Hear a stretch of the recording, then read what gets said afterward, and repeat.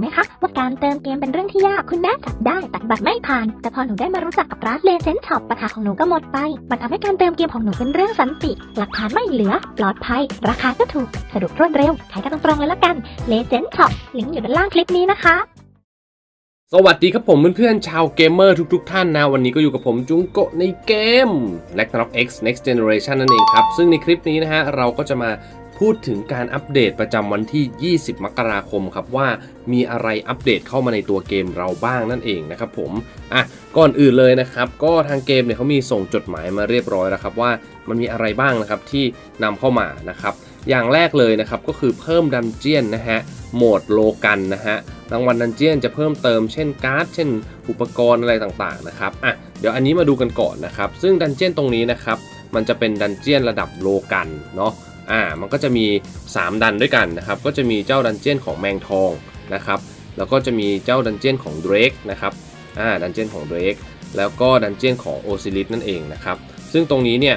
อของแมงทองจะปลดตอน 70 ของ Drake จะ 80 แล้วก็ Osiris เนี่ยจะเป็น level 90 เนาะ อันนี้ก็ลงตามที่เพื่อนๆต้องการเลยนะครับ ถ้าเพื่อนๆสังเกตดีๆนะครับ มันจะใช้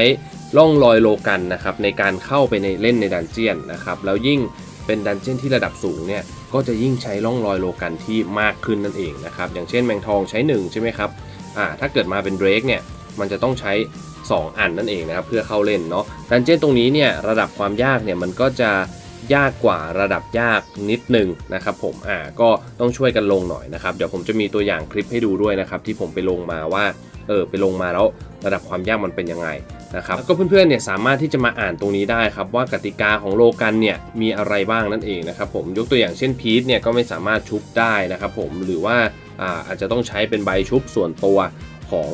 dungeon นี้เป็นต้นอะไรประมาณนี้ครับผมอะทีนี้เนี่ยไอ้ร่องรอยโลกันต์เนี่ยเราจะหาจากไหนนะครับอันดับแรกเลยนะครับผมก็เมื่อเข้าเกมมาเพื่อนๆจะมี quest guide อยู่นะซึ่งอันนี้ผมทำเสร็จแล้วถ้าทำ quest guide เสร็จเนี่ยเราจะได้ร่องรอยโลกันต์มา 1 อันนะครับผมอันดับที่2นะครับคือเพื่อนๆเนี่ย มาลง dungeon รายวันแบบปกติเลยครับ ดันแมงทอง ดันแบล็กคิวราดัน Moonlight ครับ มันจะมี drop เป็นตัวนี้ครับ ชิ้นส่วนร่องรอยโลกันนะครับ หรือถ้าโชคดีก็อาจจะได้เป็นร่องรอยโลกันเลยนะครับ ซึ่งชิ้นส่วนนี้จะต้องใช้ 10 อันนะครับ มารวมเป็น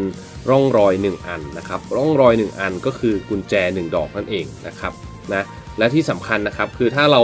เริ่มเข้า dungeon ไปแล้วนะครับ มันจะหักร่องรอยโลกันทันทีนะครับ ไม่ว่าคุณจะผ่านหรือไม่ผ่านนะครับ อารมณ์คล้ายๆ กับหอนั่นแหละฮะ เพราะฉะนั้นเนี่ยจัดตี้ให้พร้อมก่อนลงนะครับ เพราะว่าถ้า fail แล้วเนี่ยคุณก็ต้องไปหากุญแจมาใหม่นั่นเองนะครับอะวิธีต่อมาที่เราจะหาได้นะครับ ก็คือไปที่ตลาดกลางนะครับ มันจะมีเป็นตัว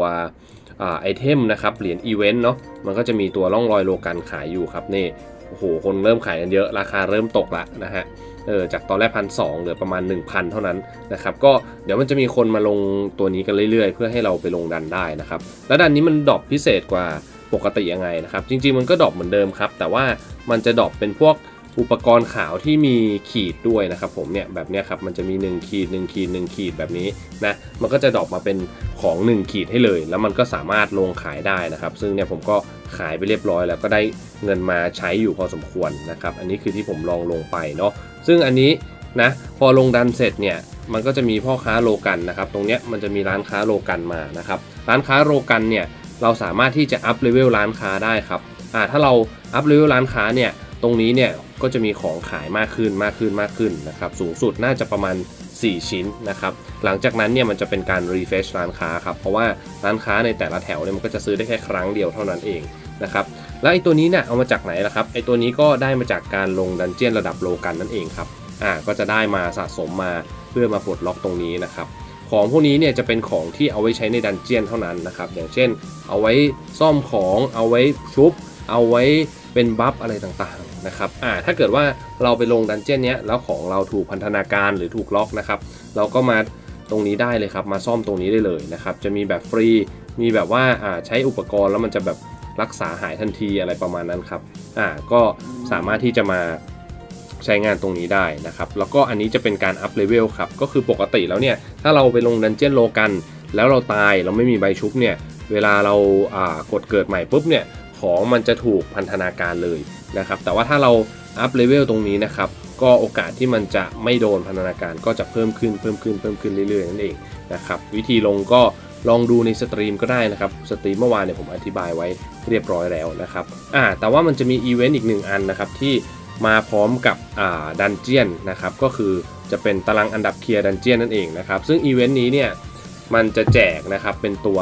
jetpack นะสำหรับตี้ no.หนึ่งเท่านั้นนะคือแบบว่าของเซิร์ฟไต้หวันเนี่ยมันจะเป็น Kingdom Pass นะครับ เป็นสัตว์ขี่วิ่ง 5 นะ แต่อันนี้คือแบบว่า party no. หนึ่งเท่านั้นเลย คือต้องได้ที่ 1 ของเซิร์ฟนั้นๆเท่านั้นนะครับเราก็จะได้เป็นพวกเหรียญอะไรต่างๆนะครับแล้วก็ปาร์ตี้2ถึง5ก็จะได้เป็นหมวกอันนี้กินนารีนะครับใบต่างๆนะจนถึงอันดับ 100เนี่ยก็จะเป็นของรางวัลตามนี้เลยนะครับก็เรียกได้ว่าค่อนข้างที่จะโหดมากๆนะเอออันนี้มันจะมีช่วงสมัครอยู่ครับอ่าแต่ว่าช่วงกิจกรรมจริงๆเนี่ยจะเป็นช่วงวันที่ 24เนาะอ่าถ้าเกิดใครหวังว่าจะเล่นกิจกรรมนี้นะครับก็ให้รีบมาตั้งแต่วันที่ 24ตี5ฟอร์มทีมกันไปเลย นะครับอ่าถึงวันที่ 29 เนาะแล้วก็มีการประกาศอันดับวันที่ 30 มกราถึง 1 กุมภาพันธ์นั่นเองนะครับก็เราสามารถที่จะเข้าร่วมปาร์ตี้คนอื่นก็ได้ครับแบบนี้เลยนะครับหรือ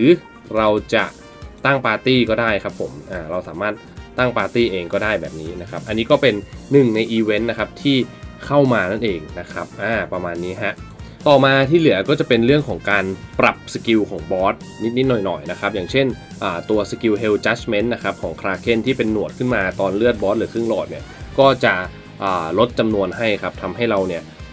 รอดจากบอสตัวนี้ได้ง่ายขึ้นนะครับ แล้วก็ลดความแรง skill ของ gravitational storm ของฟาโลนะครับ อันนี้ก็เราก็จะโดนเบาลงนะครับ อ่า แล้วก็จะมีพวกแก้ไขเรื่อง bug ต่างๆ ครับ ก็ ไม่ได้มีอะไรมากเท่าไหร่นะครับตรงนี้นะส่วนเรื่องของ p r e e s ก็ยังไม่ได้ถูกแก้ไขอะไรนะครับ ก็คิดว่าไม่น่าจะแก้แล้วนะครับโอเคฮะก็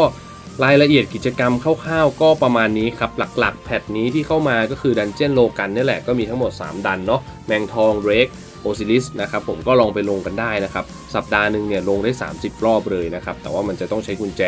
ในการลงนั่นเองนะครับอะบอกก่อนนิดนึงนะฮะว่าดันเจียนนี้ลงแล้วไม่ได้ EXP นะครับ จะได้เพียงแค่อุปกรณ์สวมใส่เท่านั้นเอาไปขาย แล้วก็พวกของที่เป็นบัฟพวกอะไรพวกนี้นะครับผมโอเคฮะก็ประมาณนี้ครับผม ถ้าเกิดคิดว่าคลิปนี้เป็นประโยชน์นะครับ ก็ฝากกดไลค์ กดแชร์ กด Subscribe เป็นกำลังใจให้ผมในการทำคลิปต่อๆไปด้วยนะครับ แล้วยังไงไว้เจอกันใหม่คลิปหน้าครับ บ๊ายบาย สวัสดีครับ